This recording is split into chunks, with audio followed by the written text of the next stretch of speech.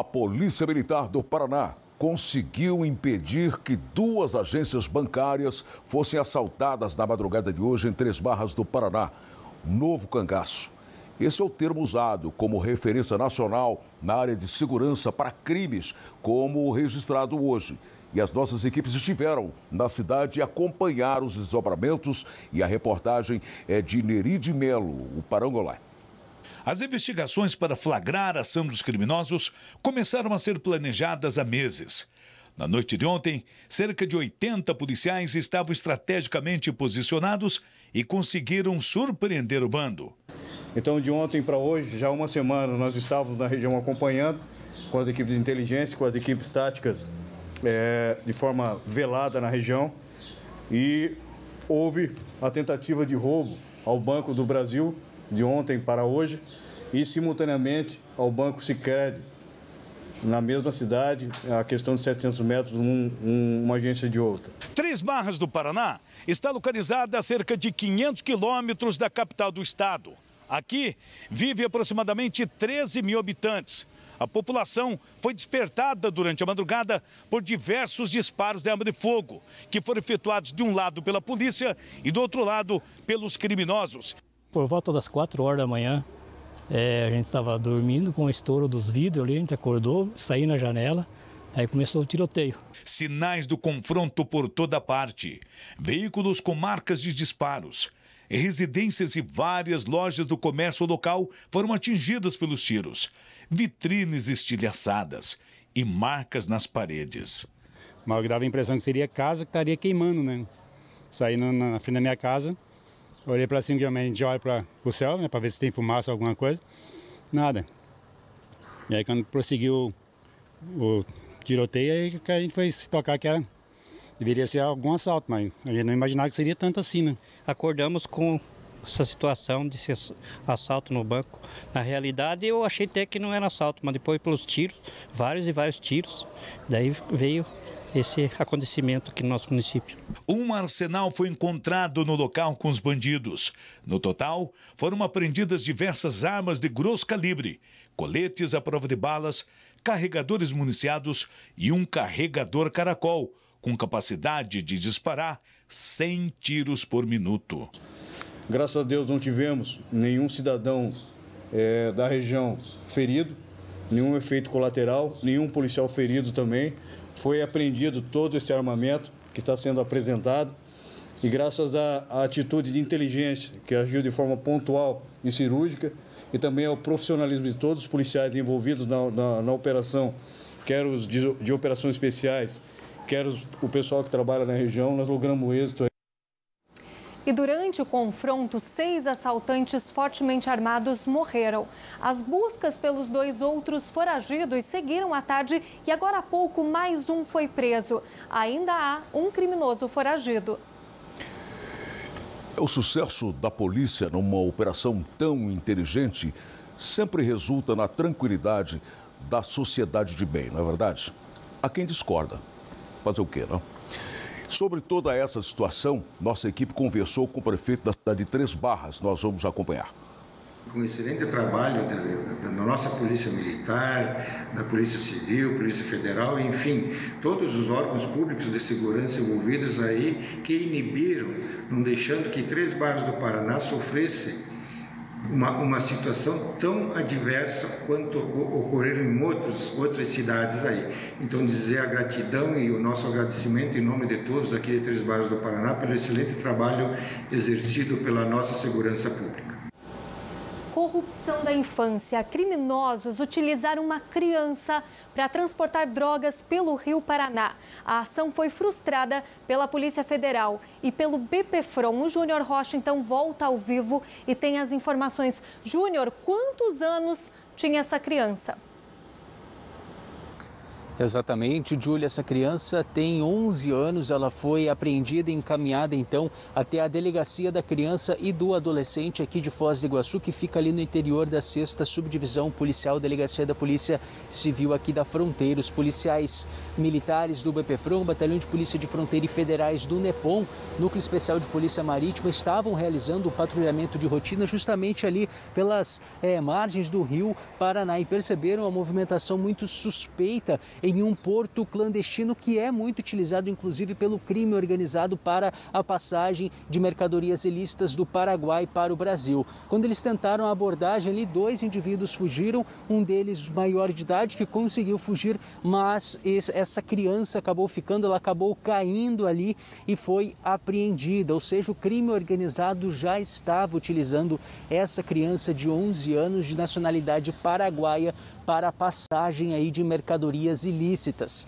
Pouco mais de 6 quilos de capulho foram apreendidos aí nessa ação e é inclusive uma das drogas aí que estão sendo muito utilizadas para justamente vir para o Brasil, do Paraguai para o Brasil, que eles dizem no mundo do crime que é uma maconha um pouco mais forte justamente para os usuários e consequentemente mais cara no mundo do crime. Volto com vocês no estúdio. Um absurdo mesmo. Uma criança já sendo utilizada pelo mundo do crime. É isso, né, Júnior? Obrigada pela sua participação. Completo absurdo. Eu prefiro nem emitir opinião sobre o que eu penso de pessoas que utilizam crianças para esse tipo de coisa. Moraes. Hoje teve operação da Polícia Federal para combate à lavagem de dinheiro e o contrabando de cigarros. Um homem foi preso em flagrante por porte ilegal de arma durante a operação. Segundo a Polícia Federal, o dinheiro tinha origem no contrabando de cigarros e era lavado com a compra de imóveis de luxo. Conforme as investigações, o grupo adquiriu imóveis ainda em construção na região do litoral catarinense. Foram expedidos pela Justiça e cumpridos 15 mandados de busca e apreensão em Guaíra, no oeste do Paraná, e em Guaratuba, no litoral, além de outras três cidades em diferentes estados. Além dos mandados de busca e apreensão, a Justiça determinou o sequestro imediato de 12 imóveis pertencentes aos investigados, avaliados em 16 milhões de reais. Entre os bens estão apartamentos de luxo em Itapema, de casas de alto padrão, hotel em Guaíra, pesqueiro, terrenos e outros bens. Documentos foram apreendidos. E câmeras de segurança flagraram um forte acidente de trânsito envolvendo três carros no cruzamento entre as ruas Plínio Salgado e Pio 12, no bairro Neva, em Cascavel.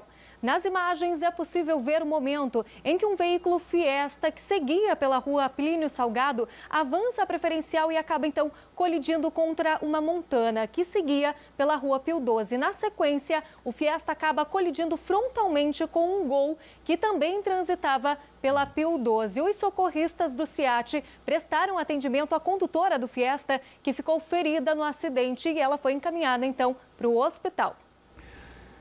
Equipes do Corpo de Bombeiros atenderam hoje em Cascavel um incêndio em uma residência que fica no centro da cidade. As chamas atingiram uma casa que fica aos fundos de um restaurante na esquina das ruas Maranhão e Carlos de Carvalho. Segundo o Corpo de Bombeiros, não houve feridos. Tanto a casa quanto o restaurante foram saciados a tempo. As causas do fogo estão sendo investigadas.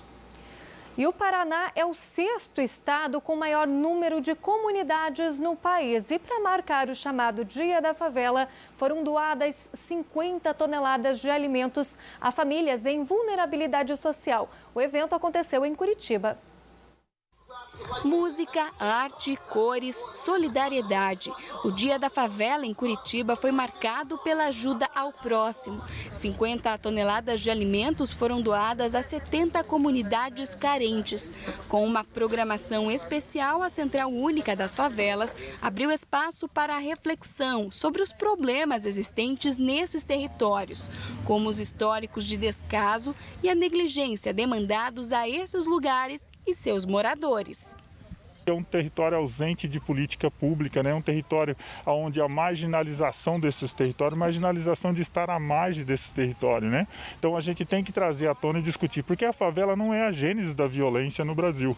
Desde 1900, 4 de novembro é reconhecido internacionalmente como Dia da Favela. E celebrar a data vai além do fato da existência dessas comunidades. A ideia é reconhecer a potência, resiliência, representatividade, capacidade empresarial e força cultural de cada uma delas. Segundo o IBGE, o Paraná é o sexto estado brasileiro com o maior número de favelas. Só em Curitiba e região, a CUFA atua em 12 cidades, alcançando em média 220 comunidades e 100 mil habitantes. Com todos os protocolos e cuidados, né, a gente está fazendo esse evento e trazendo a cultura da favela. Né? Nós somos um celeiro de produção cultural, samba, o funk, o rap, a capoeira. Neste ano, em todos os eventos realizados pelo país, o sambista Arlindo Cruz foi a personalidade escolhida para homenagens.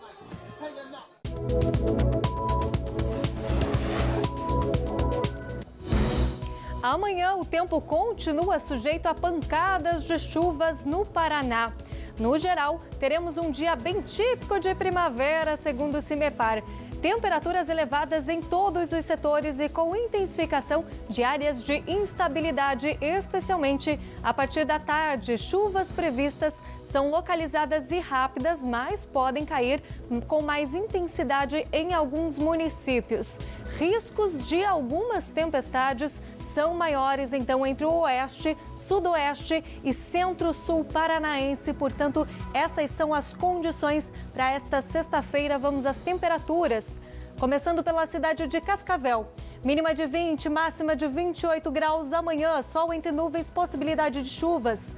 Toledo, mínima de 20, máxima de 30 graus. Francisco Beltrão, mínima de 18, máxima de 28 graus. Pato Branco, sudoeste, mínima de 18, máxima de 28 graus. Em Guarapuava, centro-sul do estado, mínima de 17 e máxima de 24 graus. E na região sul do estado, em Palmas, a mínima é de 16 e a máxima por lá não passa dos 25 graus, com predomínio de nuvens ali nessa região do Paraná. O mês de novembro é dedicado a ações de conscientização ambiental e isso porque no dia 24 é celebrado o Dia dos Rios. E diante da crise hídrica que ainda enfrentamos, é um momento para refletirmos a qualidade desse recurso tão necessário que é a água. Rogério Antunes. Durante o mês todo, a questão da preservação ambiental será lembrada aqui em Cascavel por meio de várias ações que serão desenvolvidas pela ONG Amigos dos Rios, que já inicia esse trabalho no próximo sábado. Vou conversar agora com Adriano, que é ambientalista e também voluntário da ONG. É importante que toda a população participe desse tipo de ação e que o ambiente seja sempre levado em conta, né? Exatamente. Então esse grupo, que é o grupo Amigos dos Rios, que são várias entidades, várias pessoas que fazem parte, esse mês vai intensificar as ações que já ocorrem durante o ano, né? Esse ano foi bem próspero assim nesse sentido. Tivemos vários encontros, várias ações realizadas dentre elas plantio de árvores, é, retirada de resíduos né, de rios, encostas, e, e, e, esse mês, como é, a gente comemora dia 24 agora o Dia do Rio, então vamos tentar conscientizar ainda mais né, a população com ações mais práticas, como a de sábado agora no Interlagos, na Rua Galileu, 626, que vamos fazer uma retirada de resíduos, provavelmente algum plantio também, e a gente convida quem se interessar fazer parte dessas ações pode vir, chegar junto ou entrar em contato para saber das próximas. E Adriano, muito obrigado pela sua participação, um trabalho interessante e que faz a diferença para o meio ambiente. E claro, você aí de casa está convidado a participar também desta iniciativa. De Cascavel, Rogério Antunes. Obrigado, Rogério. E com esta informação do Rogério Antunes, a gente vai para o nosso último intervalo com imagens do lado municipal de Cascavel, imagens captadas, registradas pelo repórter cinematográfico Roberto Anísio. Agora são 7 horas e 9 minutos, nós voltamos já.